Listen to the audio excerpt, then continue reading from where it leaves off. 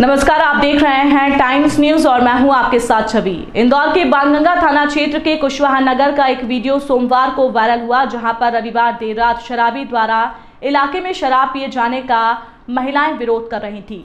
Viral video में महिला इतनी उग्र हो गई कि पहले तो उन्होंने चप्पल से शराब पीने वालों को मारा और उसके बाद लाठियाँ लेकर भागी। वहीं पुलिस को जो जानकारी लगी, उसमें ये बात सामने आई कि लंबे समय से इलाके में कुछ लोगों द्वारा बताया गया कि इलाके में आए दिन शराब पीकर ऑटो चालक या ट्रक चालक आ जाते हैं और वहीं देसी करारी के बाहर बैठकर शराब पीते हैं, जिससे आने जाने वालों को काफ़ी दिक्कतों का सामना करना पड़ता है।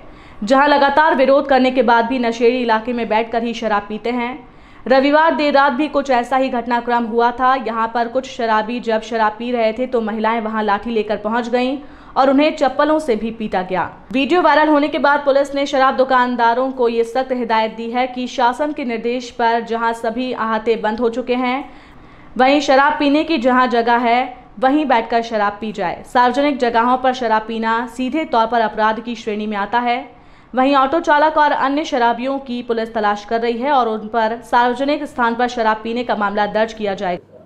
कल रात की घटना है। कुशवाहा नगर में एक ऑटो ड्राइवर ऑटो से वहाँ से निकलते हुए सुनसान क्षेत्र देखकर उसने शराब पीने के लिए शराब की बोतल निकाली थी। वहाँ पर महिलाओं ने उसको मना किया शराब पीने के लिए। माना नहीं तो वहाँ पर स्थानीय महिलाओं ने उसकी पिटाई कर दी है। इस तरह का वीडियो सामने आया है। वीडियो में कुछ लोग कह रहे हैं कि शराब पीकर वहाँ पर शायद उपद्रव मचाया जाता है। आए दिन बाहर बैठे तो इस प्रकार की घटना नहीं कि बाहर बैठे रहते लोग। एक ही व्यक्ति द्वारा कि ज़्यादा लोग द्वारा चूँकि वहाँ पास में एक शराब की दुकान है और आसपास जो इंडस्ट्रियल क्षेत्र है, वहाँ पर लाइट की कमी है। बहुत सारे सोने क्षेत्र भी हैं। तो वहाँ पर इस तरह की शिकायतें प्राप्त होती हैं। पुलिस द्वारा लगातार इसमें कार्रवाई की भी जा रही है।